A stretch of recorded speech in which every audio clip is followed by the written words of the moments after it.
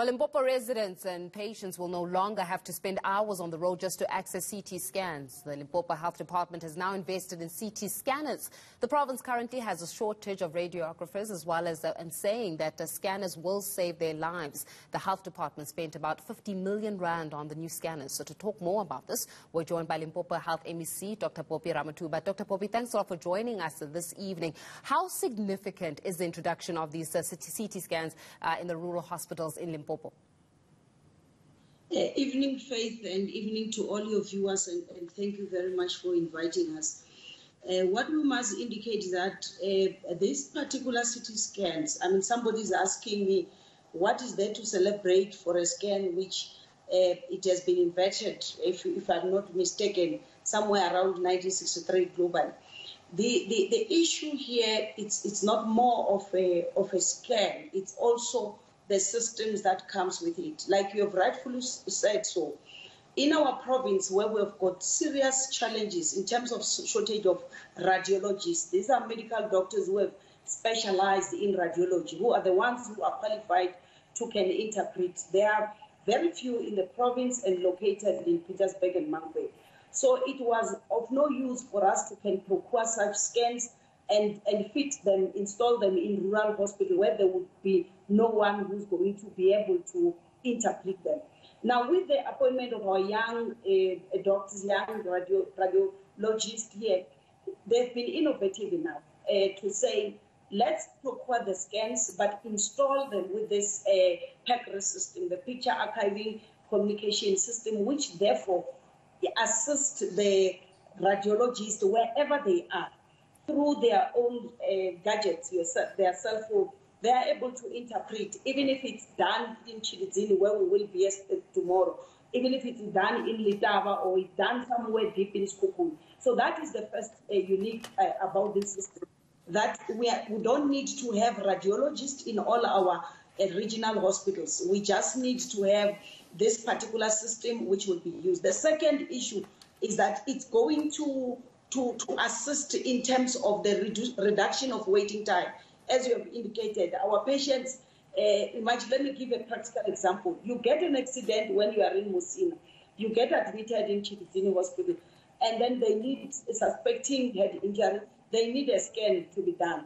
You've got to get on the road for another two hours to get a scan. You get involved in another accident on your way and then sometimes we lose we lose your life uh, during the process. So that is why we, we felt it important that even patients in our project, the rural healthcare matters, uh, that even people in the rural areas de- de- deserve that. It's also going to improve efficiency in the fact that the, the doctors will get those reports immediately after that that a scan has been done, unlike what is currently uh, been happening that you've got to wait for two to three days sometimes to get that particular report. But with this particular system installed in our CT scan, we are going to reduce that. And what is most importantly, in the current situation we find ourselves in, where the country doesn't have money, and I was given an, an, an instruction that from my budget I've got to find three billion to cut uh, because of the challenges that we are faced. We know it's an open secret.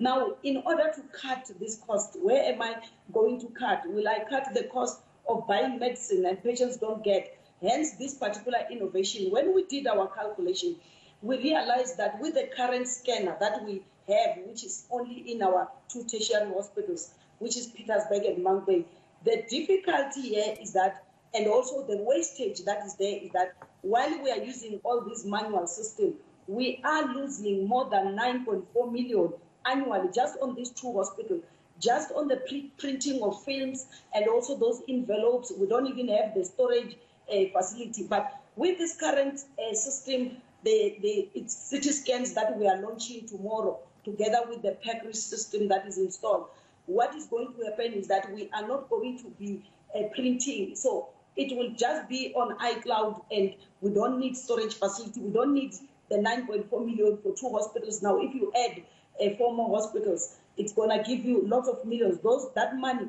uh, which we, we estimated to be around 50 million, can be used uh, towards appointment of those nurses that we are looking for and the other doctors that we are looking for. So, so basically, this is going to really uh, assist and the, most importantly, as you have indicated in the beginning, service delivery and making sure that rural people access healthcare just like me and you who are able to stay in the urban area. Yeah. I mean, we, are talking here, MEC, about, you know, how the technology is going to come into play, the fact that we do not necessarily have to waste when it comes to the printing costs that are associated with even having these scans done, right? And the fact that it's going to, the information is going to sit on iCloud. But when we're looking at uh, the accessibility of it, it becomes a different talking point, isn't it? So when we're talking about the dissemination of these scans themselves, how many are going to be disseminated across the province? How many are we looking at? I mean, you made mention of the fact that you've got two scans in the hospitals currently. That means that many people are waiting just to have their diagnosis met. So with this introduction and with this technology and the launch happening tomorrow, how many more are we looking at uh, equipping and recruiting into the system? Just for tomorrow only, we, we have been able to, to get a new scanner for uh, Tshilidzini Hospital, which is uh, around 200 kilometers from where we are in Pietersburg uh, Hospital. We also have got another one in Mokopane Hospital. We also, which is in Waterberg. We also have uh, uh, got another one in Letaba Hospital, which is in Pan. So, so for tomorrow, at the same time, we, we also got another one for uh, Pietersburg Hospital because the only one that was in Pietersburg, like you were saying, most time when it's it's it's it's, under need, need requiring service, patients are being returned back having traveled 300 kilometers. So it has always been a, night, nightmare for our clinicians. Mm. So that is why tomorrow, for a start, we will be having all this. They will be, we will go online with all of them at the same time. That is where the partnership with the University of Johannesburg is coming from. You know that the Vice Chancellor, Professor Marwala, will be joining us because we have also uh, looked at other areas so that we don't stop with this particular scan. We, we are also saying we already started with the e-pharmacy. How do we then bring it together and, and jointly? Our hospital information system, when are we going to say we are moving towards a paperless uh, hospital? So together with, with them, we are going to be, you, will, you are going to see a, a revolution within the information system in yeah. health in Limpopo, which if you look at the money that will be saved. So the next scanner that is coming would be for Philadelphia Hospital in Sekhukhune. So we will, on an annual basis, we will be procuring this particular uh, scanners until mm. we, we are saying all our patients are satisfied. But up to so far, all our districts uh, from tomorrow will be covered. They will not have to travel many hours on the road just to go and be told that the scanner is broken. Please come back next week. Yeah. And, and that is frustrating to the patients. Well, MEC, it's definitely disheartening realities that many of our people have to deal with as they try to get access to quality healthcare in this country. So on one side, it's talking about making sure that the scans are available, but on the other side, it's this issue around the recruitment drive, right, for radiologists, because the system in itself needs to be maintained, needs somebody to run it, needs effective, efficient people who know what they're doing to be at the helm. How are you doing with that uh, recruitment process? You see, in terms of the radiologists, we are doing very well. As I've indicated to you, we have now appointed a young, energetic head of clinical unit, Dr. Stolle, who is the project manager driving this project. We already have got, a, I think we have got around seven now radio, radiologists. We don't have a challenge of radiographers, which I've heard you uh, saying earlier on. And I think it's, it's an issue of radiologists that we had serious challenge. But having seven currently, because we are also training, remember we've got a license to train.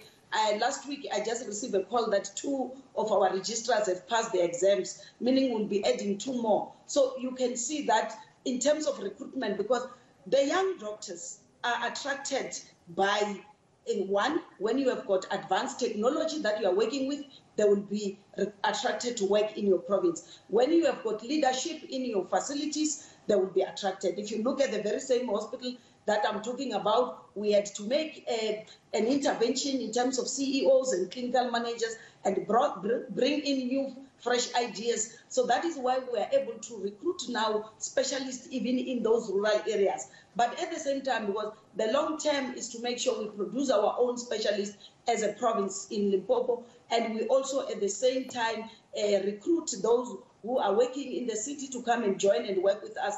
But also at the same time, we have got what we call the rural health uh, Matters project that we use uh, next week, coming next week, will be in the very same district where, where we will be clearing all the surgical backlogs that have been there so that before we go into our Christmas and festive season, those who have been involved in an accident, waiting for their bone to be fixed, who are requiring ORIFs, we should be able to do those. Those hip replacement will be done. Those women who require hysterectomies, that will be done. We'll be having our gynae oncologists who will yeah. be joining us. Some are coming from Gauteng. So that is the plan and, and the work that we continue to do every day because my, our focus as a team in Limpopo is to make sure that rural people get the same quality of healthcare that those of us who are at an advantage position continue to, to receive every time when we need uh, at healthcare services. Well, definitely, MEC, all the best for tomorrow as you have uh, that launch. MEC, Dr. Phophi Ramathuba, they're giving us uh, the latest in terms of the introduction of those uh, CT scans.